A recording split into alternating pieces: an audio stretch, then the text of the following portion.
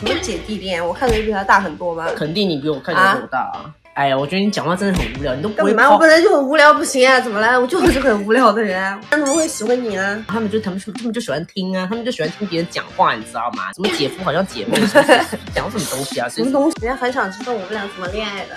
那你说，就是我追他的喽。你知道吗？确实，他们好像都蛮希望你回台湾。不是，是他们想在台湾遇见我。现在太红了，我根本就没有办法回去。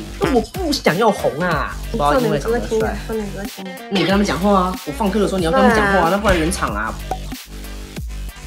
什么姐弟恋？我看着比他大很多吗？肯定你比我看起来大啊！哎呀，我觉得你讲话真的很无聊，你都不会。干嘛？我本来就很无聊，不行啊？怎么了？我就是很无聊的人啊。哎，你要你要，不然怎么会喜欢你啊？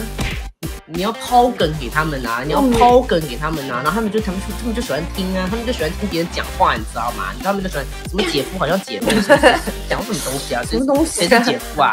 谁是姐夫啊？女朋友好漂亮哦，公主你房中贵吗？什么公主？啊？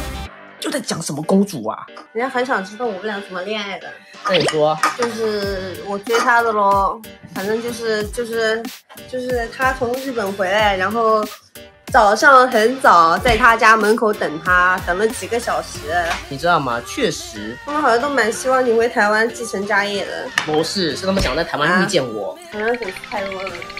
是，就我现在太红了，我根本就没有办法回去。我跟你们说，我去不了，因为我一下飞机，不是我怎么跟你说，我在上海一上飞机，那个空服员是台湾的，都跑来跑来跟我合照，哎，很困扰，哎，你知道吗？从一上飞机就被骚扰，连睡觉都连连躺在那个地方睡觉挖鼻屎都没有办法，然后很克制自己的形象，你们知道吗？啊，所以现在说就是上飞机，现在回台湾以后，真的害怕啊，真的害怕，你知道吗？就是戴面具，你知道，特别买了个面具，哎，买了个口罩跟个那个墨镜。最，这就是最大的墨镜，最 size 最大的，直接戴到这里来的，直接戴上一个挖镜。我跟你们说，我不想要红啊！现在有很多空姐都跑去排队，要排要排队，听到林家珍要回来，哇，林家珍要要要要订机票啊！林家珍订机票啊！吓都吓死了！我跟你讲，我很害怕，你知道吗？我就，唉，我姐来上海的影片有介绍到我的女朋友小杰。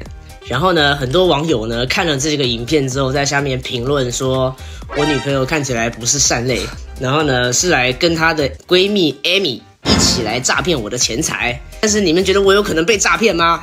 我诈骗他们会比较厉害啊？来，我现在问一下你，你是不是爱我爱的要死？对呀，我爱你爱的要死呀！你刚看到了吧？所有的网友，他真的是爱我爱的要死。你现在靠在我的肩膀上，是不是觉得很有满满的安全感呢？嗯，是不是很舒服？很有弹性，那就对了。来给你们介绍一下我的垫肩，我的垫肩，这里面是两块海绵，就是为了让女朋友靠得很舒服的，像枕头一样。我很好奇我在上海做什么工作，今天就来跟大家公开一下。七年前呢，我是在我爸公司上班，但是因为在自己家公司上班，员工是不敢管理的，所以呢，他们都不敢给我任何工作做。我爸呢，就吩咐我叫我去扫地、擦车，然后看哪一个员工在摸鱼。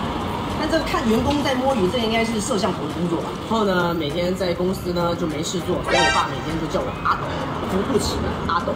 我也不可能一辈子被人叫叫做阿斗吧，所以我就偷偷存了一个月的工资，九千块钱人民币，来到了上海，租了一个房租四千块的。然后之后呢，又去办了电话卡，还有包括我后面的吃喝，我身上其实只剩下两千多块钱人民币。每次去面试一家公司都不要我，因为他说我没有工作经历，也没有在大陆工作的资源。当时就是投了非常多的简历。然后就去面试了一家说是卖清洁用品的，结果没有想到居然是在路边擦鞋。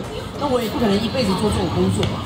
然后刚好呢，我有个台湾朋友在上海的爱奇艺工作，就误打误撞进入了广告行业。家人还有包括我爸的员工，因为他们都看不起我，就每天都在打赌，打赌我说一个礼拜回去，或者是一个月就回台湾了。七年的努力之后，我现在已经是一个独立广告人，中间还经过了几家大的广告公司，然后还有一个某大厂。我这段工作的期间，我也被拿过了非常多的奖项。网友都说我来上海是呃花我爸爸给我的钱，但是我没有靠家里面任何一点经验。然后呢，去年年底我爸转了一百万台币给我，这笔钱是第一次给我转钱。是在我半夜心情很郁闷，就在打电话给他，我说你们七年来都没有看过我一次，一切都是我自己一个人在上海打拼起来。他决定汇了一百万给我。很多网友说我在上海不务正业，然后我是一个纨绔子弟，但是我必须告诉你们，我是有正当工作的，正遇到了人生的瓶颈，脱舒适圈，然后勇敢的去闯出另外一另外一片天。网友呢说什么我在上海花我爸的钱挥霍吃喝玩乐，哎，拜托你们是不会自己去看视频吗？我姐这期视频都已经说得很清楚了，她家里都不愿意装修，哎，她抠到什么程度啊？她虽然名下有很多豪宅。但是它里面的豪宅的家具全都是从外面捡来的。有一次我跟他走在路上，走在路边马路边，看到一个那个别人别人那个丢在丢在外面的一个一个柜子啊，那个柜子上面已经破了一个大洞。他说他说家珍啊，这柜子看起来质量还蛮好的，我们搬搬回去吧。然后我们住我们自己住的台北的房子。那是那个三十年前装修的房子，他从来不会装修，那个天花板都已经在掉漆了，整个墙壁都已经破烂了、龟裂了。我每一次从上海回去，还要买一个特别买一个斗笠，进家门一定要戴上那个斗笠，不然怎那个那个墙那个天花板上面的灰都会泼到自己的脸上。最扯的就是。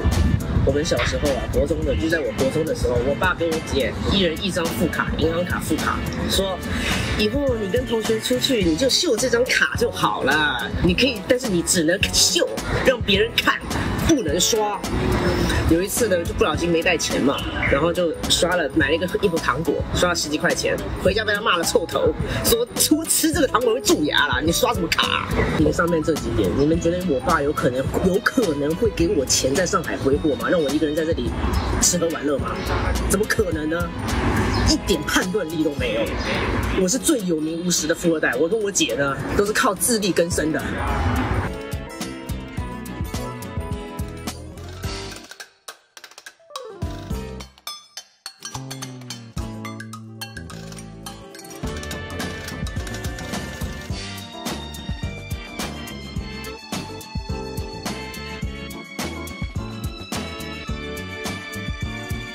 其实我小时候四年级的时候，我就发现我喜欢的是女生，可是我从来不觉得自己很奇怪，也觉得这是一个很正常的行为。但是我爸跟我做了一系列很可怕的反抗行动。在我十八岁的时候呢，我爸给我的生日礼物是一块劳力士的手表。他说呢，家珍，这是我爸爸送给你的手表。那爸爸有个愿望，就是希望你能变女生。我为了得得到那一块手表，我说哦好啊好啊。结果当天呢，我爸就直接预定了一家做睫毛的店，说要带我去种睫毛。当时我对种睫毛其实没有太大的概念，我以为就是只是种几根睫毛，然后自己睫毛变多一点。我想要想说应该不会影影响我自己的颜值，我就在那个地方躺了一个小时。结果当我醒来的时候，哇靠！我像公主。结果呢，种完之后，我爸超扯的，他直接把我带带到他公司去秀了一圈，给他公司的员工看。重点是你们知道吗？我当时的长相跟我我当时留的头发就跟我现在是一样的，然后现在前面穿的是男生的衣衣服，然后一个超级长的睫毛。然后回到家之后，我就把门赶紧锁，把自己房间门锁起来，我就在那边对着镜子，还一边哭。我说我怎么会变成长成这个样子？我一根一根把那些长的睫毛给它拔掉，用力给它拔掉，把自己侧的皮子都拔掉。隔天隔天早上，我爸进来叫我起床的时候，然后家珍啊起床嘞，他说：“哎，你这个睫毛怎么怎么怎么昨天种了，今天都没了？”我说：“你那个质量太差了，以后别种了。”